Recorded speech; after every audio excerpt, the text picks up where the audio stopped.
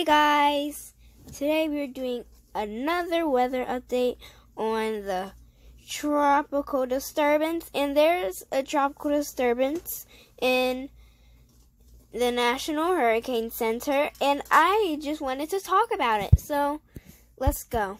Let's see the animation. So let's slow it down a little bit, like I always do.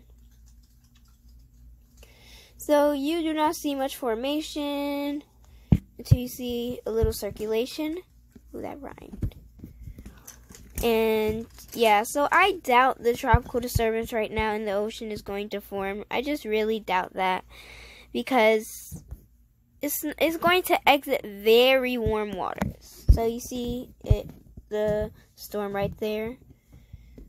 So a lot of forecast models are just predicting that there's going to be another storm. They're just predicting that's going to hit that. Then obviously the storm I was talking about, they're just changing the forecast models. So they just changed it.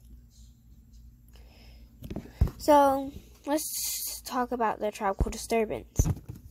So as you can see, it is a 30% chance and that's going to form in five days.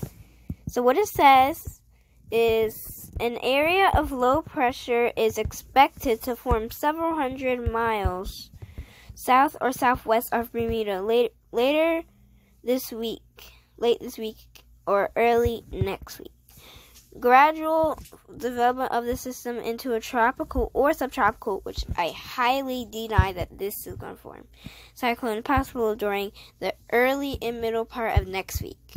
While it moves northward or northeastward, the next special tropical weather outlook will be issued by 2 a.m. Saturday or sooner condition warrant. So that's all I want to do for you guys today. Hope hopefully you like the video subscribe turn on post notifications and there's a possibility i might do a 50 subscriber special. Bye